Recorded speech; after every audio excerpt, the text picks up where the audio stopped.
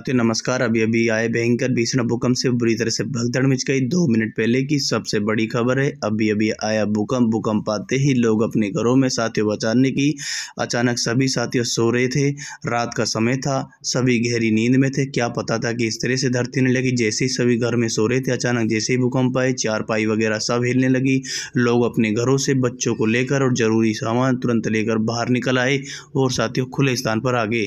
देखा तो चारों तरफ़ सभी लोगों की भारी भीड़ थी। सभी साथियों बिल्डिंगों से बाहर निकल रहे थे। अपने अपने घरों से भी बाहर निकल रहे थे। लोग बाहर निकलकर खुले स्थान पर आ रहे थे। सभी डरे हुए थे। जी हाँ दोस्तों, ये भूकंप के झटके जो महसूस किए गए हिमाचल प्रदेश के लाहौल और स्पीत ज़िले में बुधवार रात ग्यारह बजकर बीस मिनट पर देखे गए हैं। बताया जा रहा है कि जो भूकंप की तीव्रता मापी गई है, तीन पॉइंट चार तीव्रता का भूकंप आया है। इसका केंद्र जो ज़मीन से पाँच किलोमीटर नीचे मापा गया है। बताया जा रहा है कि जैसे ही भूकंप आए, लोगों के मन में डर पैदा हुआ, लेकिन फ़िलहाल किसी तरह के नुकसान की अभी तक कोई खबर नहीं है।